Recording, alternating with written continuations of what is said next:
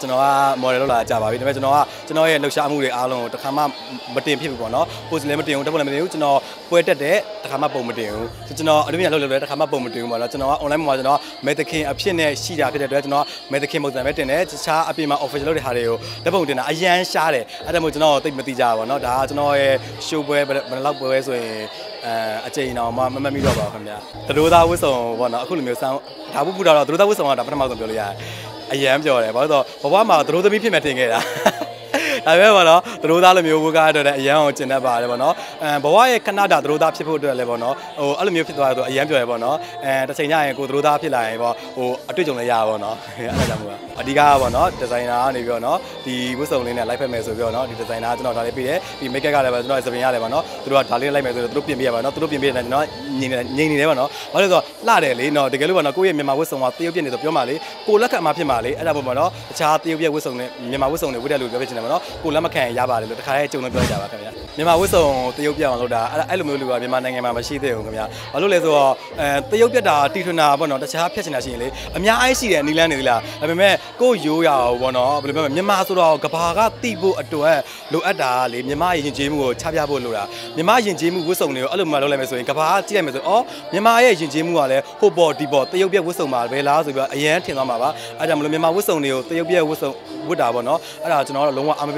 အဲ့လိုလူလည်းအရန်ရှုံချပါတယ်လို့ကျွန်တော်ပြောချင်ပါတယ်ခင်ဗျာအောင်လင်မှုကိုဖြတ်လန်းရလိုက်တာအရန်ယူမိုးကောင်းပါတယ်ပေါ့နော်အောင်မြင်မှုကိုဖြတ်လန်းလိုက်မယ်ဆိုလေနီလန်ပေါင်းတသိန်းတသောအများကြီးရှိပါတယ်ခင်ဗျာလိုက်လို့ရပါတယ်ဒါပေမဲ့ပေါ့နော်ဘယ်လိုမှမလဲဟိုကိုအောင်မြင်နေတာလေကိုယ့်ဘက်ကိုပဲဖြတ်လေအခုကပေါ့နော်ပြောရမယ်ဆိုရင်အဲ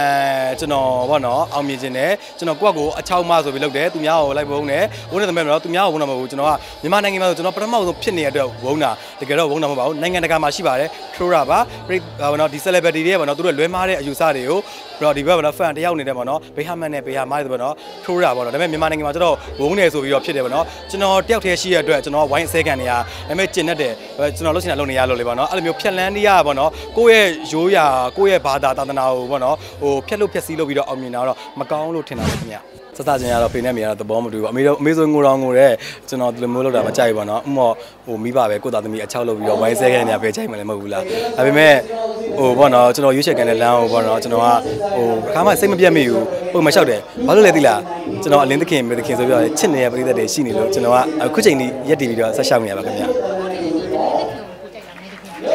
ကျွန်တော် ကျွန်တော်ကအလင်းသခင်ကိုလည်းနှစ်သက်တယ်မေသခင်ကိုလည်းနှစ်သက်တယ်ဘာလို့လဲဆိုတော့မေသခင်ဆိုတာပြည်သက်ကနေပြီးကျွန်တော်ပေါ့နော်အားပေးခဲ့တဲ့ကျွန်တော်ရဲ့မေသခင်ဆိုတဲ့ဘဝပေါ့နော်အလင်းသခင်ဆိုတော့အဖေနဲ့မေရပေးခဲ့တဲ့ဘဝပေါ့နော်အဲဒါမလို့အဖေနဲ့မေပေးတဲ့ဘဝရော ဒီဘက်တော့မြန်မာနိုင်ငံမှာရှိတဲ့ပေါ့ကျွန်တော်အားပေးတဲ့ပြည်သက်တွေအားလုံးပေးတဲ့မေသခင်ဆိုတဲ့ဘဝကိုကျွန်တော်ကချစ်ခင်နှစ်သက်မြင်လို့ပါတယ်လို့ဘယ်တော့လောက်အိမ်နာပြုဖို့အစီအစဉ်ရှိလဲလို့မြင်တော့ကျွန်တော်ကအခုကြီးစားလည်းရှိပါတယ်ချစ်သူလည်းရှိပါတယ်ဟိုတယောက်တည်းပေါ့နော်ကျွန်တော်တယောက်ခွဲပြောရတင်နေဦးမယ်အဲအိမ်နာပြုဖို့အစီအစဉ်ရှိတာဆိုတော့ရှိပါတယ်ကျွန်တော်ဟိုပေါ့နော်ဟိုဝင်ငွေတွေကျွန်တော်ရဲ့အလုပ်ငန်းတွေအတူတူဖြစ်သွားတဲ့ချိန်ကျွန်တော်ချစ်သူနဲ့ကျွန်တော်နဲ့အတူတူနေမှာပါဒီကတော့ကျွန်တော်မိဘကိုပဲ ချစ်မဲ့သူပေါ့နော်အခုလက်ရှိချစ်သူကကျွန်တော်မိဘကိုလည်းချစ်ပါတယ်အဓိကကျွန်တော်ဝတ်စုံကျွန်တော်မြန်မာနိုင်ငံဝတ်စုံကကျွန်တော်ကမြန်မာဝတ်စုံပဲဝတ်မှာမြန်မာဝတ်စုံပေါ့နော်နှစ်ခေါက်လောက်လဲရင်တော့လဲလိမ့်မယ်ပေါ့နော်ဘာလို့လဲဆိုတော့လေမြန်မာဝတ်စုံဝတ်ကလည်းသဘောကျတယ်ကိုမြန်မာနိုင်ငံမှာမြန်မာပုံစံအဖြစ်တရုတ်